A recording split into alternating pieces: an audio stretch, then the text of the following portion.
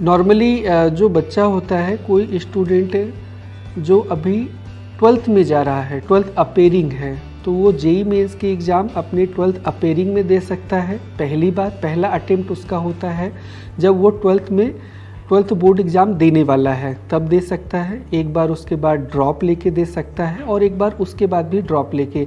यानी JEE mains का जो एग्ज़ाम है स्टूडेंट अपने एकेडमिक ईयर में तीन बार दे सकता है। पहला अटेम्प्ट होता है उसके ट्वेल्थ बोर्ड के अपेयरिंग में।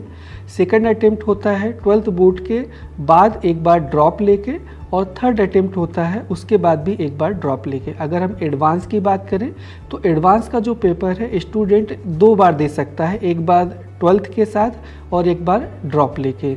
इस तरीके से स्टूडेंट अपने एकेडमिक ईयर में जेई मेंस के एग्ज़ाम तीन बार दे सकता है और एडवांस के एग्ज़ाम दो बार दे सकता है।